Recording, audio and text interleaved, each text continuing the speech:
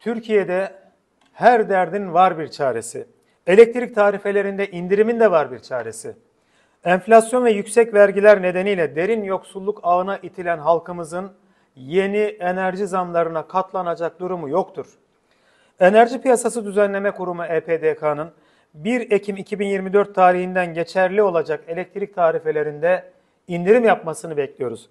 Çünkü halkımız Temmuz 2024 dönemi elektrik tarifelerinden alacaklıdır. Hatırlanacağı üzere Enerji Piyasası Düzenleme Kurumu 1 Temmuz 2024 tarihli elektrik zamlarını açıklarken enerji üretim maliyetlerindeki artışı gerekçe göstermişti. Oysa 1 Temmuz 2024 tarihinde açıklanan elektrik tarifelerine baktığımızda elektrik faturalarımıza yansıyan enerji bedelinde %12'lik indirim yapılırken dağıtım bedelinde yaklaşık %60'lık bir zam yapıldığını gördük.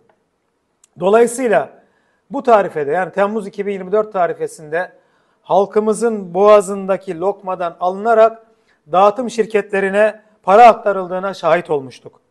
Enerji ve Tabi Kaynaklar Bakanı Alparslan Bayraktar'ın son zamanlarda basına yansıyan demeçlerine bakıldığında elektrikte %60 devlet sübvansiyonu var dediğini görmekteyiz.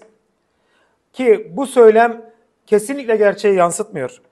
Halen geçerli olan elektrik tarifelerinde günlük tüketimi 8 kWh saatin altında olan düşük kademe mesken abonelerinin elektrik faturalarının %23.8'ini enerji bedeli oluşturuyor.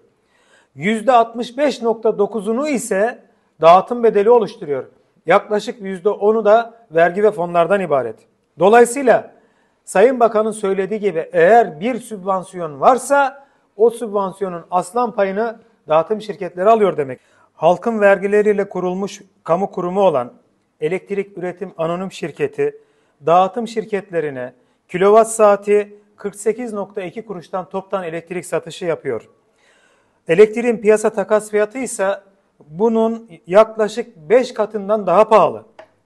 Dolayısıyla bir kamu kuruluşu olan EÜH'tan kilowatt saati 48.2 kuruştan alınan elektriğin düşük kademe mesken abonelerine kilowatt saati 49.4 kuruştan satılması kesinlikle sübvansiyon değildir. Dağıtım şirketlerinin yoksul halkımız üzerinden fonlanmasına son verin. Mesken düşük kademe tarifelerinde indirime giderek enerji tasarrufu için halkımızı teşvik edin. Enerji verimliliği sağlayan elektrikli cihazların kullanımını özendirecek vergisel düzenlemeler yapın. EÜH'ın elektrik üretimindeki payının artırılması ve yenilenebilir enerji alanına yatırım yapmasının önündeki engelleri kaldırın. Enerji alanında özelleştirmelere son verin. Üretimden dağıtıma kadar tüm süreçleri yönetecek bir kamu tekelinin kurulmasına bugünden tezi yok derhal başlayın. Saygılarımızla.